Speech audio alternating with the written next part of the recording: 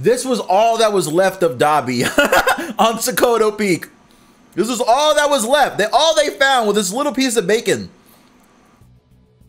Okay, on a serious note, we're here today, of course, to talk about, we're going to continue our series and talking about where I think character arcs are going to end in My Hero Academia, and we're going to talk about the end of Dabi's story in My Hero Academia. Now, I wasn't planning on doing this video uh, so soon. Actually, this is a little further down in my list of videos to do, but because of recent things going on in the manga, right, recent events, it's looking more and more likely that we really have to speed up and make this video as quick as possible because it really might just be the end of Dabi's story in My Hero Academia, actually, right? This video series, if you don't know, uh, we're talking about where I think character stories are going to go as we round out this final arc of My Hero Academia, right?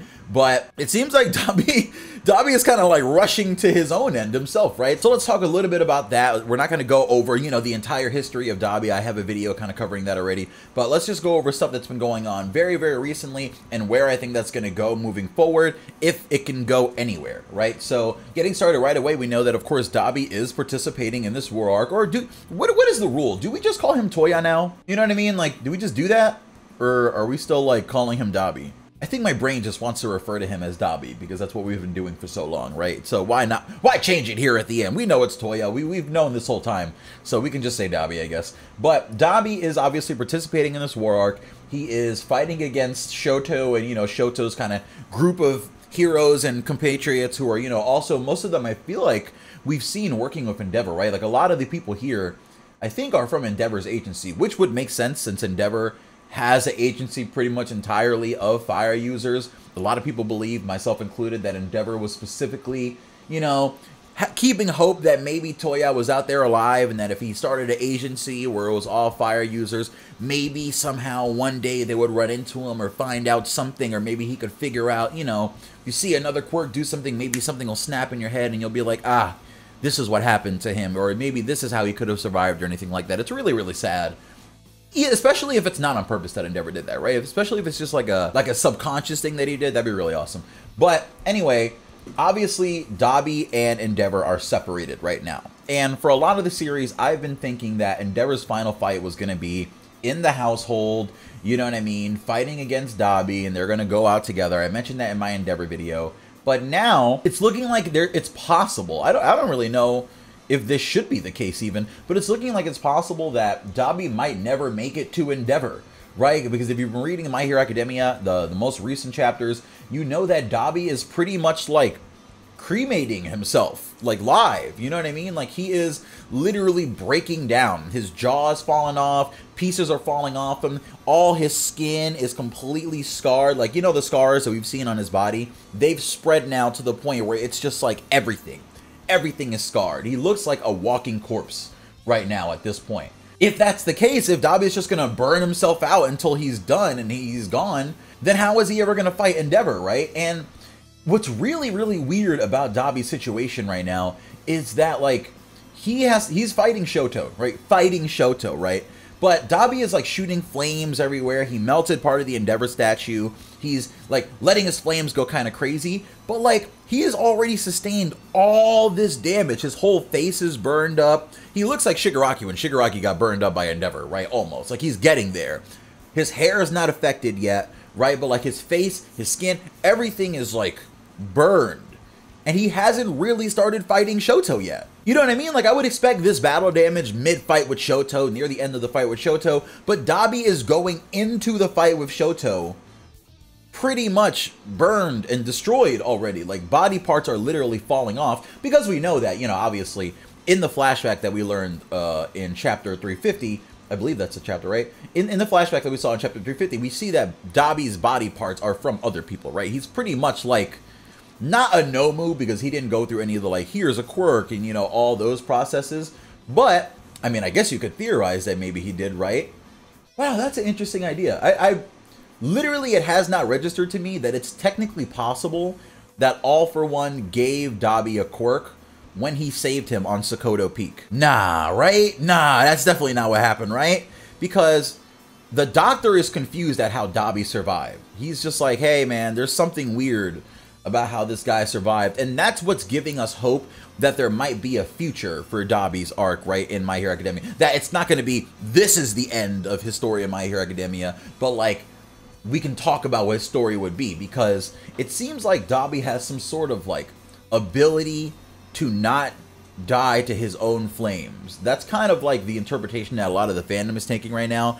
That somehow Dabi has like a flame rebirth or like a phoenix thing going on. Like I, I have a very long, intensive video about the Dabi Phoenix theory. That seems to be kind of the main mood of the uh, of the fandom right now. That everyone seems to think that Dabi is going to burn himself out while he's fighting Shoto, survive somehow, maybe even beat Shoto, and then find Endeavor, right, in his newly restored form or in his more powerful form. And that honestly would be very interesting, but like something's not adding up here, right? Because if you look at Dabi, if you look at, uh, I guess Toya, I should say, when he was burning on Sekoto Peak, right? You see the smoldering body that All for One finds in this chapter that is barely clinging to life, right? And that's Toya. But like, even if All for One gave Toya, let's say he was just like, here, I'm gonna give you the doctor's healing quirk, right? To heal you. That wouldn't heal all those burns and all those scars. Like Dabi's face, everything was burned. He looked, he did look like Shigaraki when Shigaraki was burned by Endeavor. So how is it that three years later or years later, Dabi wakes up and like, you know, parts of his face are obviously replaced, right? But the parts of his face that aren't, his hair is regrown. How does he have his scalp still? There's a weirdness going on. You know what I mean? There, there is definitely a weirdness going on with Dabi that is inexplainable. And in this video, we're trying to figure out what that's going to be, right? Obviously. So do you think it's going to be some sort of like Phoenix rebirth technique? And if you do, how do you stop Dabi? How do you stop Dabi if you can't burn him? You know what I mean? Because this whole this whole situation with the Todoroki family and Dabi has really turned into Fire Force 2 because they're fighting fire with fire. You know what I mean? To beat Dabi, you're gonna like to really stop him because I don't think there's gonna be any reasonable, hey, come back to the family situation to really stop Dabi, who's uncontrollable even to all for one. You can't use ice or water or anything. He's shown to just completely the Geten is a very, very strong ice user. I think Geten was like Horikoshi's way of showing you ice is not the way to go with Dabi. You can't.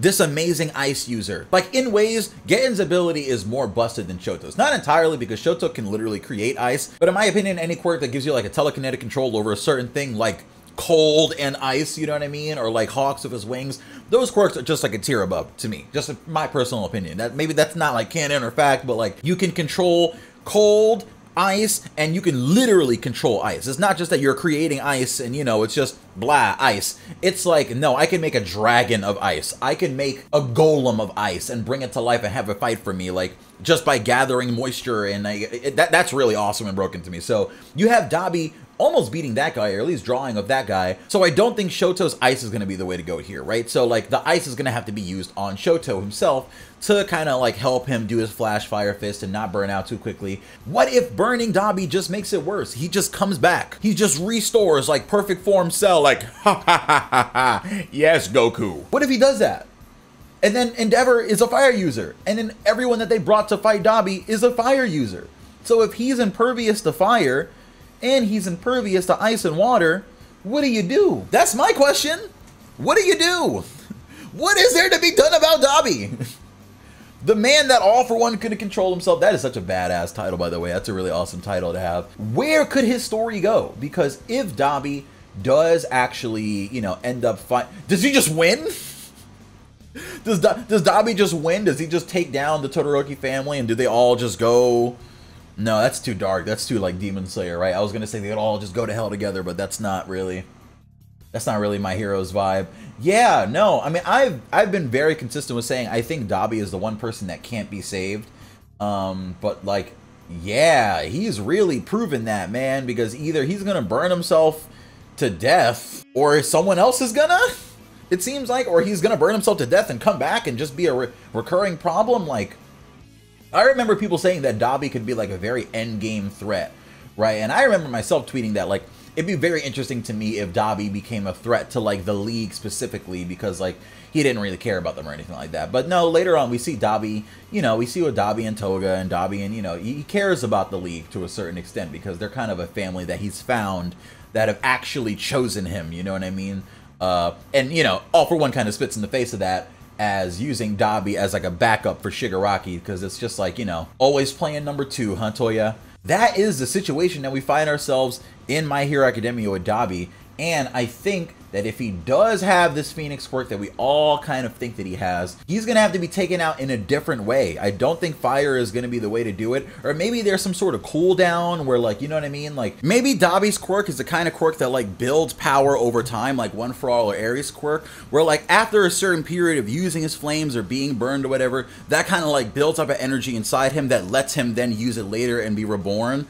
And maybe like if you if he does it, if he is able to do it again after all these years, maybe then he won't be able to do it again, right? If he's taken down by himself the first time, maybe he will have to be taken down by Endeavor or somebody the second time, and maybe he will, you know, stalemate with Endeavor and they'll both die. And that's ultimately what I think is going to be the end of Dabi's story in My Hero Academia. I think that he is going to go out in flames but it might take one or two tries to really get him to actually stay down, right? Because right now, this guy is kind of like a burning zombie. I love it. I think it's super metal. Dabi's always been this super metal character, and the way he's going out, man, with his teeth just out and looking all sorts of crazy, I'm here for it, honestly. Horikoshi really is showing that he wants to do a horror manga because Dabi's kind of scary right now. So, what do you think about the possibility that Dabi is going to be reborn and then have to die again or be, be taken down again? Or do you think that this fight with Shoto actually is his final fight? Let me know in the comment section below. I want to know which character you want me to talk about next. I'm thinking about doing Toga, but you know, you can maybe change my mind and make me talk about somebody else.